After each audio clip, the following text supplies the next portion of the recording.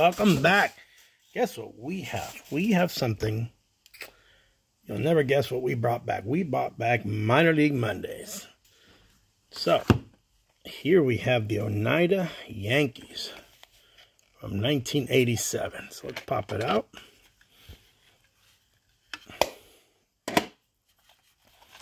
But got Mr. Gerald Williams. I think he just passed away recently. David Eiland had a major league career. Jake McMunson, I don't think so. But Gerald did, but he passed away. So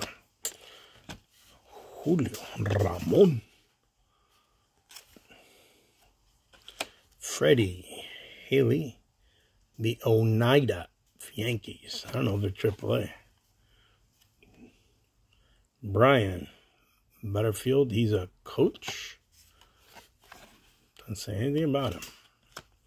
Tom Weeks. Dave Turgeon, the Oneonta Yankees. Bill DeCosti. Doug Golgovich. Luvitsky, I guess. Tom Popplewell. Steve Erickson. Dan Roman. Anthony Morrison. Lou Hill. Rod Emis. Daryl Tingle. Hector Vargas. Bill Lovett. Chris Brines or Burns. I think he made it to the majors. Correct me in the comments, please. Randy Forster. Mark Mitchell. If they made it, these guys had cups of coffee. Ron Eckhart. Gary Allison. Oh, there he is, that Mr. Allison. He he was a Red Sox.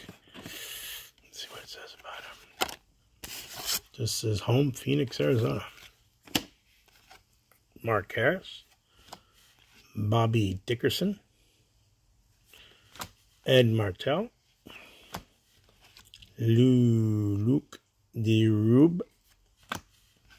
Jack Gills. Tom Cloninger, pitching coach. I don't know if he's still with us. Tom Bishop. Dean Kelly. And we know he made it. Bernie Williams.